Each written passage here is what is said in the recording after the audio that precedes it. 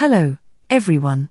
In today's tutorial, I'll walk you through the steps on how to add your company email to Outlook Mobile. It's a straightforward process, so let's get started. Open your Outlook mobile app and tap onto this icon in the top left corner. Then, on the leftmost corner, tap on the message icon with a small plus sign. Now, select Add an email account. Here, you'll need to enter your company email address.